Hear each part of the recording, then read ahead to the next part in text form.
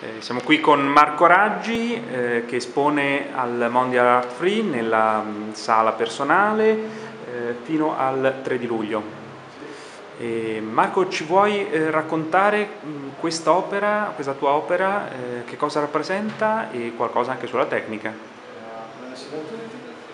Quest'opera qui è una visione, un sogno.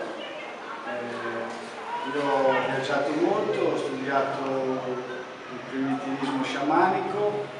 un po' tutte le religioni, ho incontrato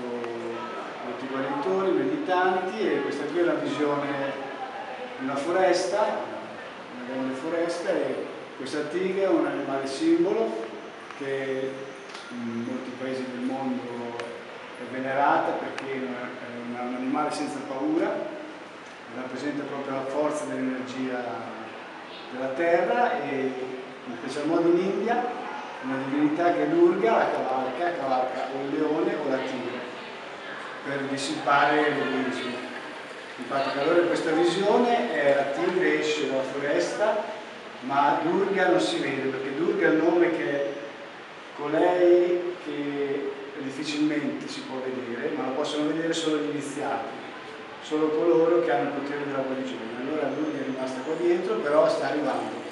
E anche diciamo, un'immagine per il futuro, per i nuovi tempi dove l'egoismo può essere distrutto da una visione terrena più vicina alla natura, più vicina alla madre terra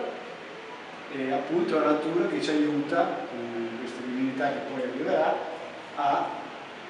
uscire anche da questi tempi di, di crisi, di, di difficoltà. In pratica dobbiamo ritornare un po', come dicevo una volta, alla terra per essere più in contatto con essa e vedere di, di tornare ai ritmi biologici, per stare meglio, un po' questa è la visione di, questa, di questo quadro. Mi sono divertito anche in omaggio anche a Antonio Ligabue, il pittore, molto ha detto che assomiglia molto al pittore qua a Milano, sono molto felice perché mi piace molto questo pittore, ho visto anche ultimamente una mostra suoi quadri a Bergamo